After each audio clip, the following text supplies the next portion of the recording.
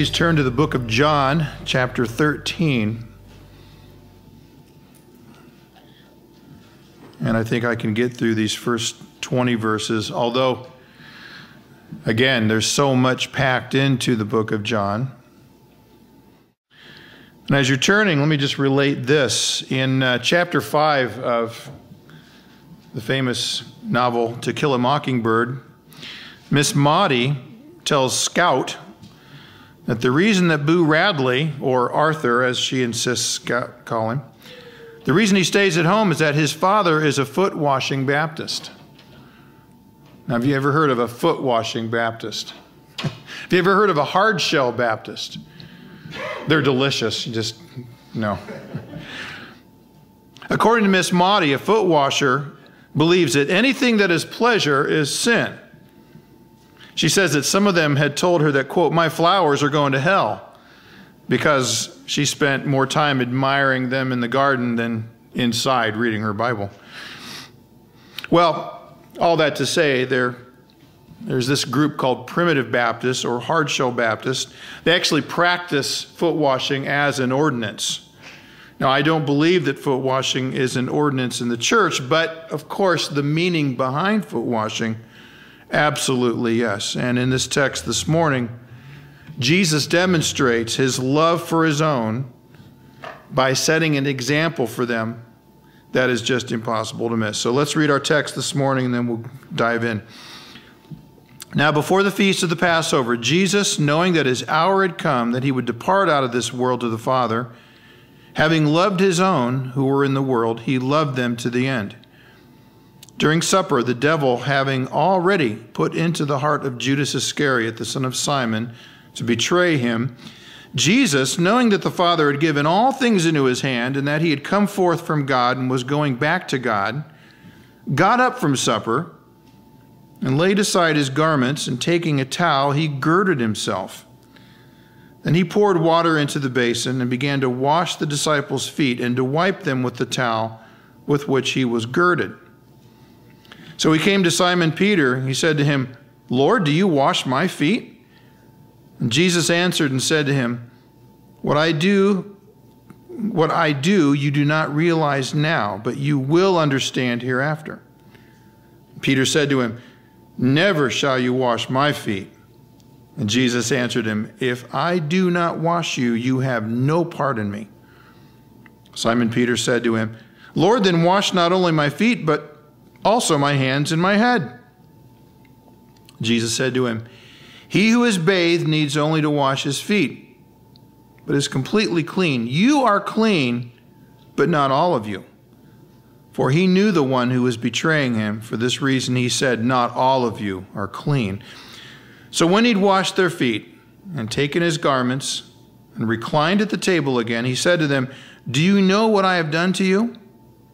You call me teacher and Lord, and you are right, for so I am.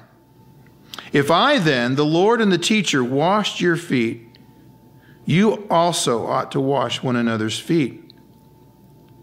For I gave you an example that you should do as I did to you. Truly, truly, I say to you, a slave is not greater than his master, nor is one who is sent greater than the one who sent him. If you know these things, you are blessed if you do them. I do not speak of all of you.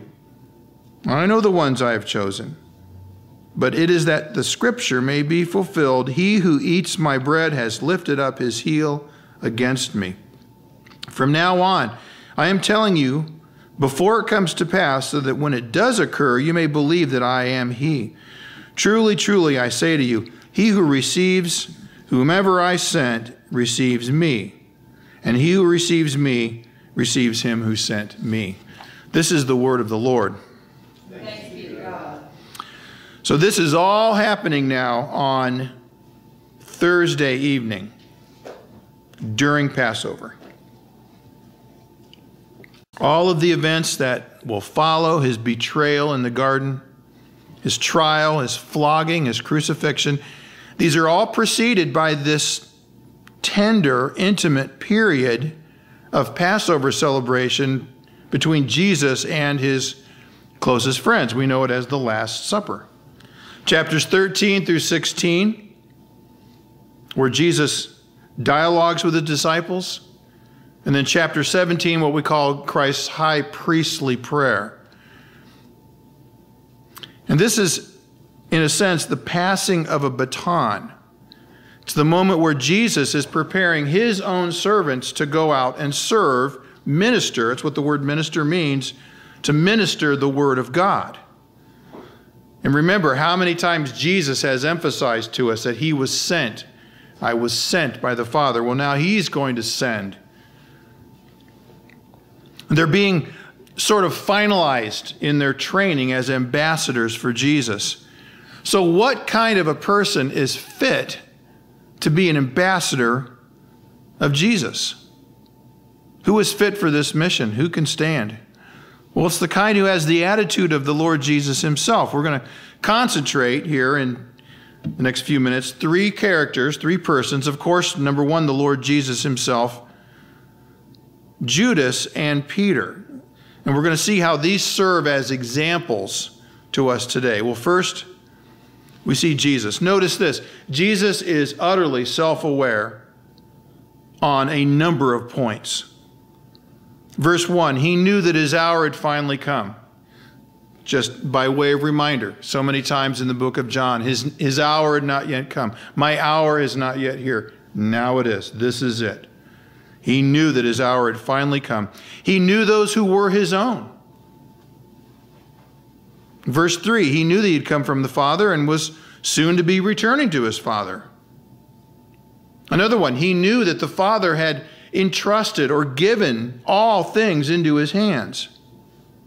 And he also knew who, who really were his true disciples and who wasn't. And here it says that Jesus loved his own to the end, not meaning that his love for the world is diminished or in view here, but this is the specific, intentional love that Christ has for his own.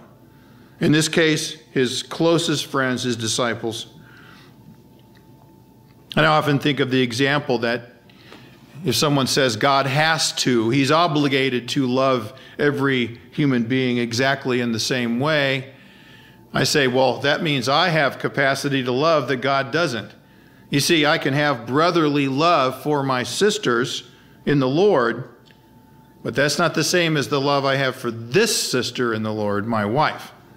She's my bride. I have a special, intentional love for her. And I hope my love beautifies my wife. Oh God, that's my goal.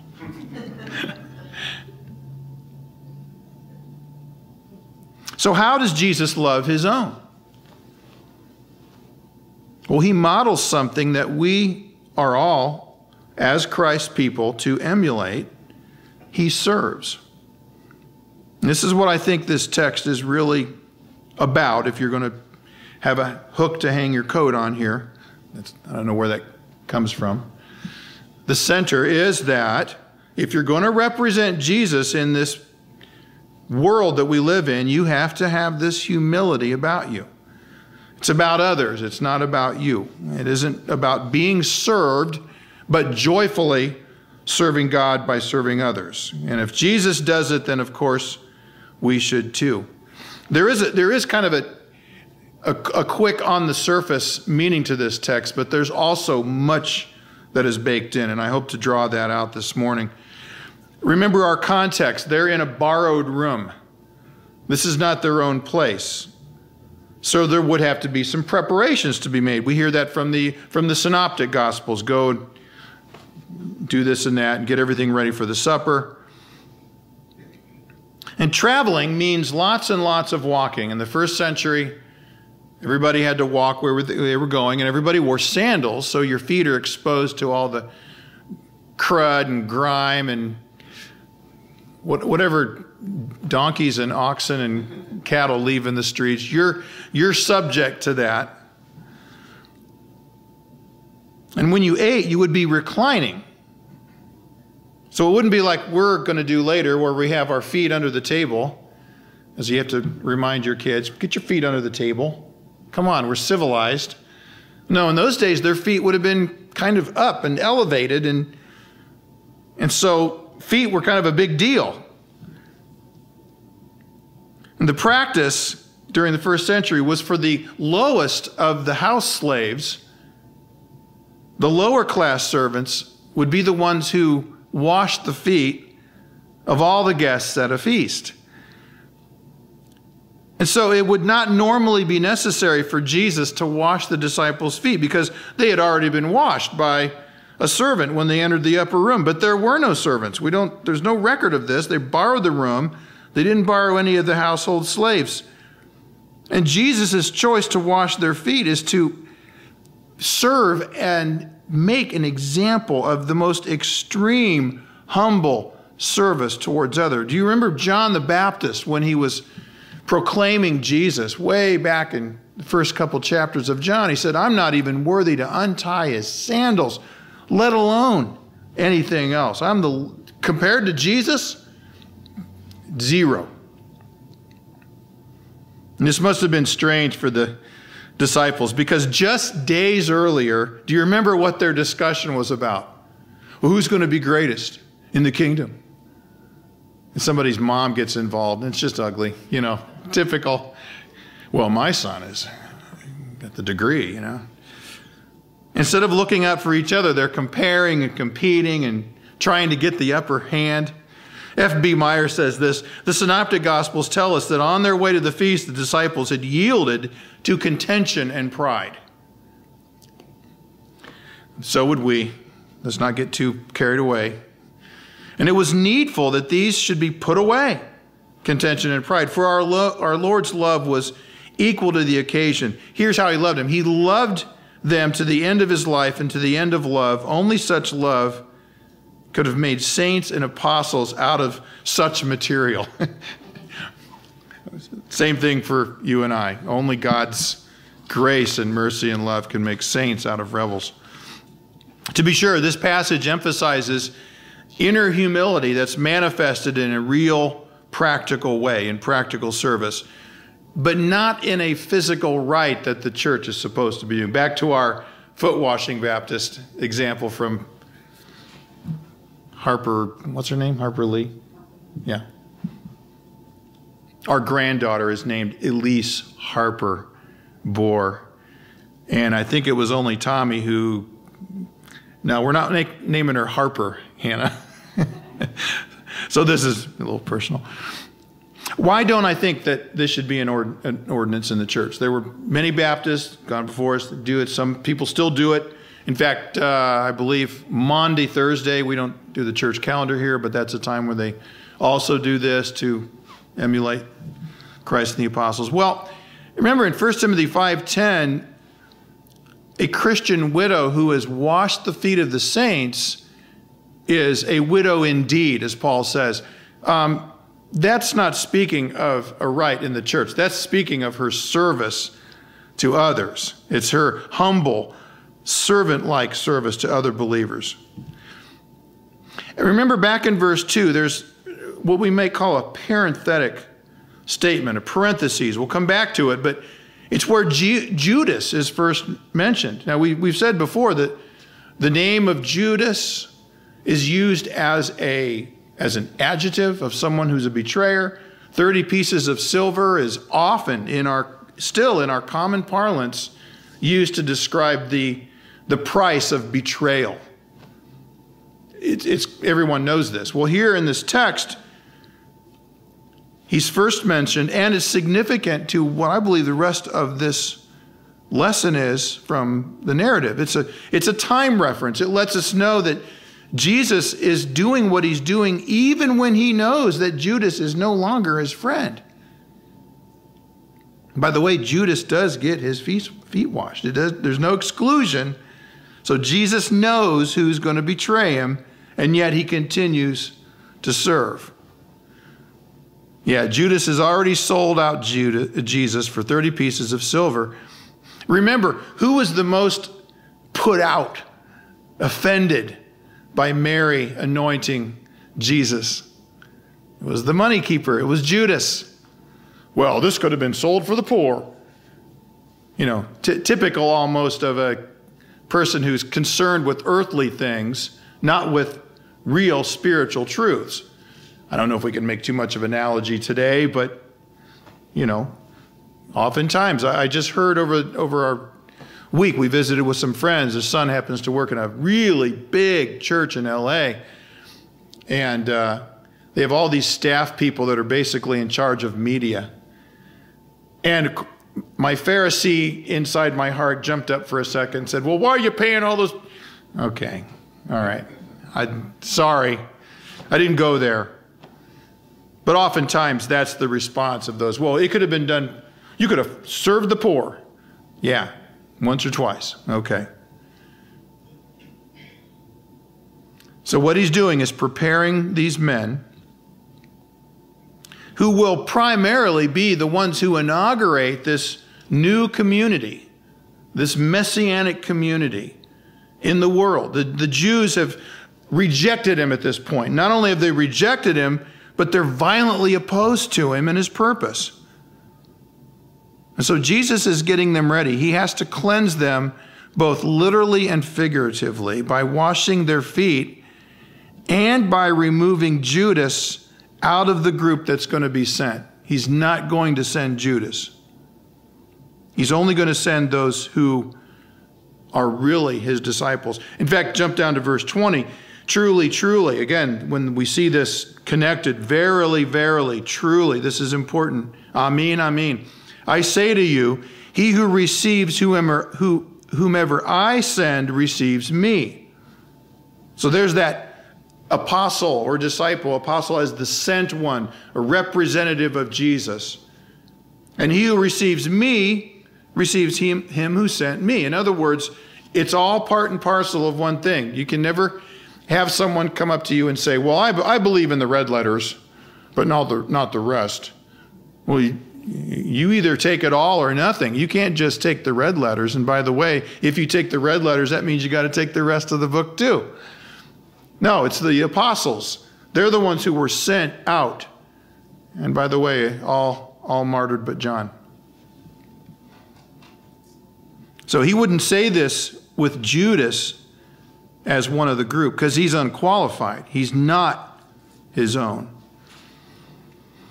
Jesus does what he does here, knowing that he has the highest rank of anyone. Anyone. Verse 3 Jesus, knowing that the Father had given all things into his hand, there's no one who can compare with Jesus in his kingly authority.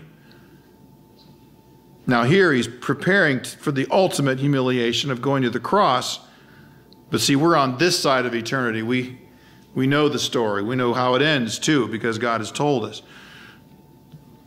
There is no one that's even close to his station. There's a beautiful picture here, too, of Christ's humility and self sacrifice in how he goes about foot washing. I, I, had never noticed this before.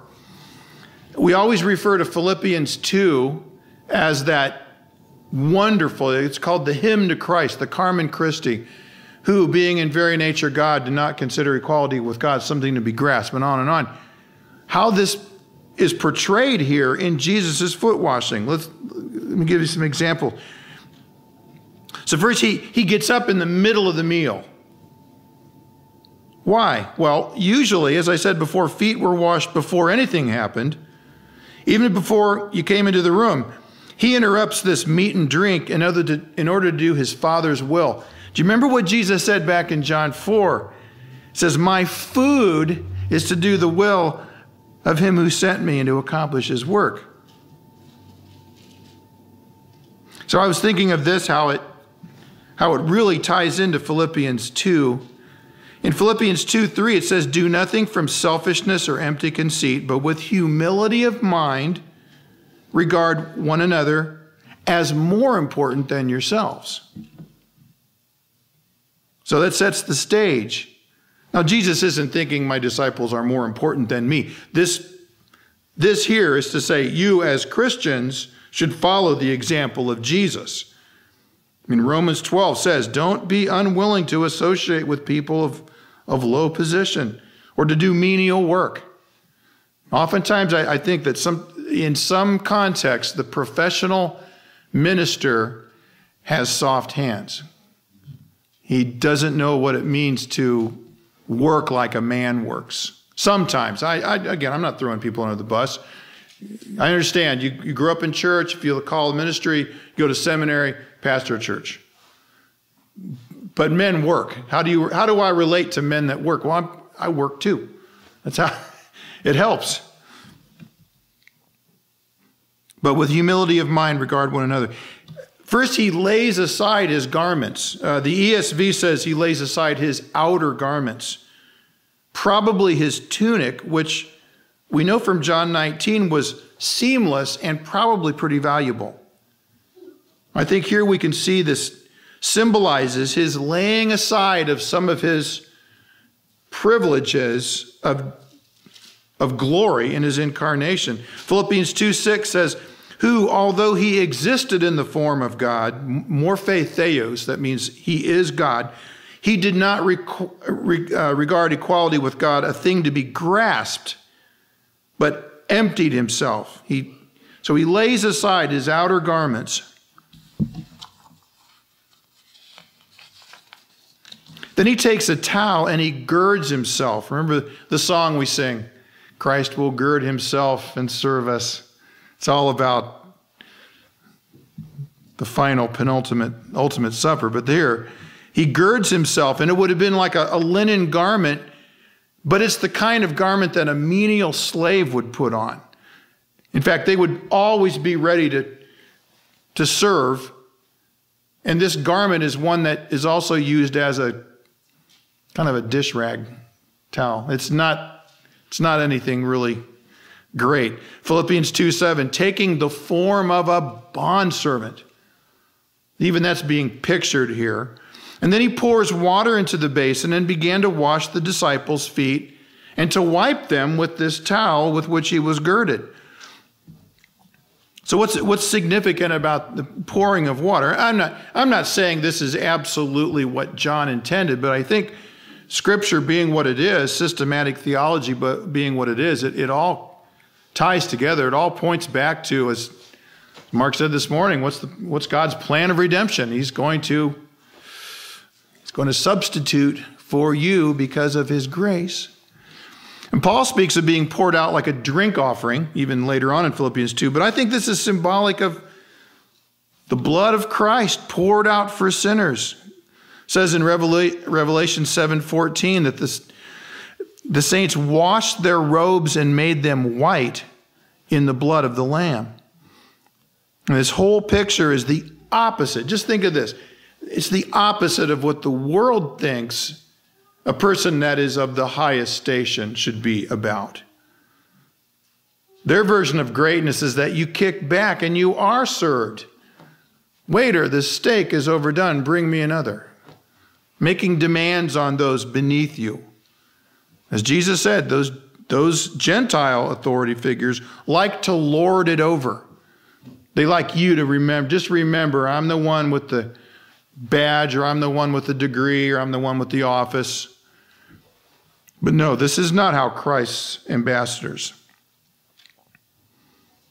In fact, uh, cool word alert, it is the antithesis of what the world thinks the opposite of truth. If someone's going to have authority and have preeminence in the kingdom of God, then they must emulate Jesus. They must be, able, be not only willing, but able to do what Jesus is doing here. So maybe that's what Peter has in mind. You know, Peter has this reputation as being the firebrand and talking before he thinks. And so this is almost typical Peter. He says, Lord, do you wash my feet? Verse 6. It literally, my feet you wash? What? And Jesus says, You don't get it yet. You don't realize now, but you will understand afterwards.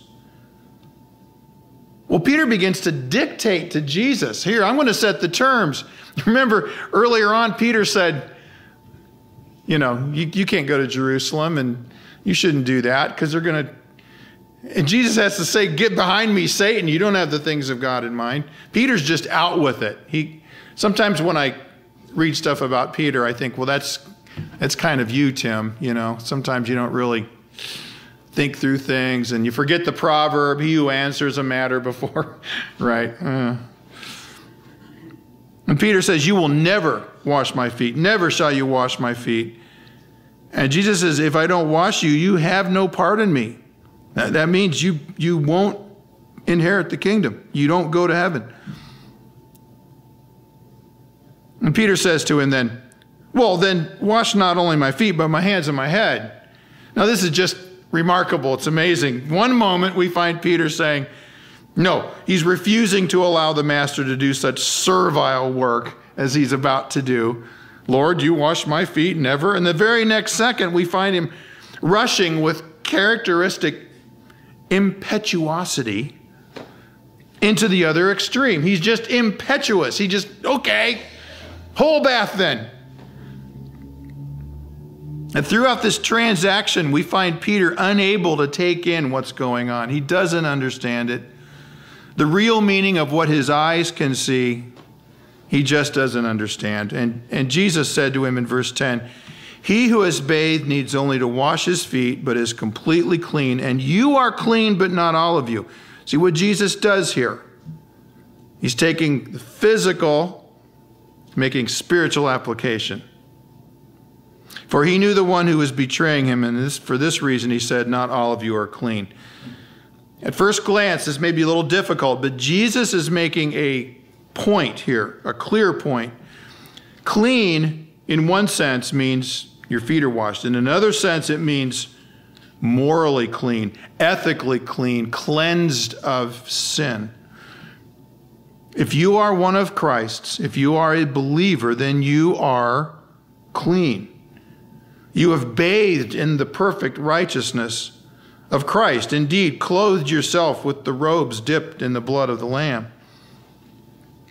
And God looks at you through the lens, as it were, of his Son, in, as you are united to Jesus and his perfect righteousness.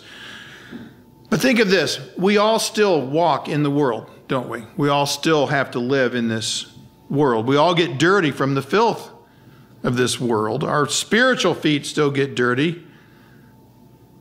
And it's hard to walk anywhere and not have some dirt and dust and crud stick to you, and mostly because we walk right into the dirt and the crud and the dust. Remember how Paul uses the, the, the metaphor of walking for your comporting yourself in this life. You're moving around in from place to place and just living in the world. Ephesians 5:15 or yeah, 5:15 and 16. Be careful how you walk, not as unwise, but as wise, making the most of your time. Be careful how you walk. The days are evil.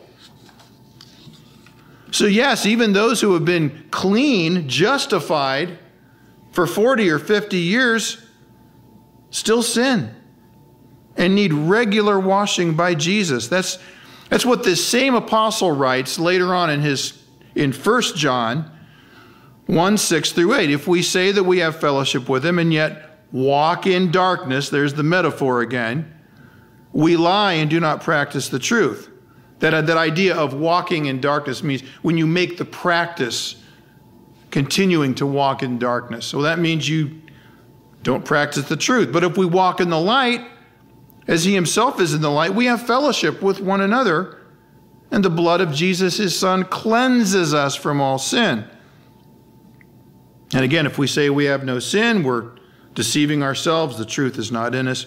What was Peter's mistake here? He failed to realize that even though he was completely clean, verse 10, that is, even though he was justified in Jesus, there were still sins and issues that needed to be taken care of and cleansed daily confession. We could say daily spiritual foot washing. Jesus has made this, it's not a jump. He's saying this kind of cleanliness, to be clean, is because of me and what I have done, and now I'm going to further clean. So, verse 12, when he had washed their feet and taken his garments and reclined at the table again, he said to them, Do you know what I have done to you? It's a great question, and, and no one offers an answer, do they? Verse 13 You call me teacher and Lord, and you are right, for so I am. If I then, the Lord and the teacher, washed your feet, you also ought to wash one another's feet. Yeah, this is big time. Jesus knows. He's keenly aware. You call me Lord. You are right. You're absolutely right. There, there's no false humility here. That would be a lie. But this is one of those greater to lesser. If it's true for this person, then how much more would it be true for these people, these persons? If the King of glory can stoop down and do this most menial of tasks, then how much more you, his followers, be willing to serve others? Verse 15 For I gave you an example that you also should do as I did to you. Truly, truly, I say to you, a slave is not greater than his master, nor is the one sent greater than the one who sent, sent him. Now, see, he's making an allusion there again. He's not, he's not greater than his father. He and the Father are one. And the apostles aren't greater than Jesus, but both are in the sense being sent. Jesus was sent to accomplish his work. And now the apostles, they haven't been sent yet, but they're going to be. They're going to conquer the world, by the way. That's all it is. It's not Pinky and the Brain, it's much greater than that. World domination under the benevolent rule of Jesus Christ. That's the goal. And then he says this in verse 17 if you know these things, you're blessed if you do them. Now, the, the word bless or blessing, it really, it, it's kind of, doesn't really, the blow has been softened. Um, by the way, if you know these things and put them into practice, you are blessed. Well, that doesn't hit us as hard as I think it hit the apostles. The Southern Dictionary uses this word blessed to soften the blow of an upcoming insult. Did you know that? It's common practice. Well, bless her heart, she has no fashion sense at all. bless his heart, he couldn't fix a rubber duck. Well, blessing is, is the best. It's joy and favor and contentment and peace with God. It's blessing. It's the opposite. Read, read Deuteronomy. This is blessing, and here's its opposite cursing. Blessed and cursed. You obey Jesus, you'll be blessed. If, if you don't, no. To be blessed was the absolute height of the situation if you were a Jew, and it is for us as Christians. So if you know these things, you're blessed if you do them. That's, that's that joyful contentment in Christ. Verse 18 I do not speak of all of you. I know the ones I have chosen. I'll tell you right now, if, if, if I would have been any of the disciples sitting around that table, I'd have, I'd have been freaking out. but it is that the scripture may be fulfilled He who eats my bread has lifted up his heel against me. From now on, I'm telling you before it comes to pass, so that when it does occur, you may believe that I am He. Truly, truly, I say to you, he who receives, again, verse 20, whoever I send receives me, and he who receives me receives him who sent me. Here's another proof, as if they needed any more of Christ's full deity. by the way, the word in verse 19, the word he isn't actually there. It's, it's used as a clarifier, but if you have the New American Standard, you'll see it's in italics. Some other versions may have that. It's really just as Jesus used the phrase in John 8 58, before Abraham was born, I am. And this is so that you may believe that I am, ego eimi in the Greek. It's it's the divine name. It's the Exodus 3:14. Who should I tell the people that sent me? And God speaks out of the burning bush and says, "Tell them I am that I am." And here's the kicker. This is where it all kind of comes together. Peter Don't walk like Judas, because Judas isn't clean. The 11 are clean, but not Judas. So, for Peter, for you, for I, for anyone who's going to represent Jesus in the world, our posture and our attitude, our own sense of who we are in the, in the big picture, the grand scheme of things, must be one of humility that is marked out by humility towards other people. Let me close with this. We are taught here that Christians must never be ashamed of doing anything that Jesus has commanded us to do. We, we must never, never be ashamed of anything that Jesus said. As our buddy Doug Wilson said, we cannot have any problem passages.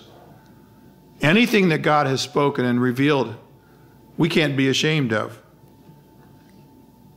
And especially when Jesus says, here's the example, walk in it. We must never be ashamed of walking in that example. In verse 16, truly, truly, a slave not greater than his master, nor is the one who is sent greater than the one who sent. J.C. Ryle, the famous Anglican from the late 19th century, writes this There seems little doubt that our Lord's all seeing eye saw a rising unwillingness in the minds of the apostles to do such menial things as they had just seen him do, puffed up with their old Jewish expectation of thrones and kingdoms, secretly self satisfied with their own position as Jesus' friends. These poor Galileans were startled at the idea of washing people's feet. They could not bring themselves to believe that the Messiah's service entailed work like this. They could not yet take in the grand truth that true Christian greatness consists in doing good to others. And hence they needed our words, our Lord's word of warning. If he had humbled himself to do humbling work, his disciples must not hesitate to do the same. So, the title of the sermon, How He Loved Them to the End. How did Jesus love them to the end? Well, back to verse 1. He knew that his hour was come. His purpose, as, as we, as we read in John 12, for this very reason, for this very purpose, I came. He's about to lay his life down for his people. His hour had come that he would depart out of this world to the Father Having loved his own who were in the world, he loved them to the end. Jesus doesn't, doesn't give us another extended lecture from a pulpit. He demonstrates. He shows them. He's, he's, he's told them the way of life. He's about to make wonderful, precious promises to his disciples, but he starts by showing them and demonstrating.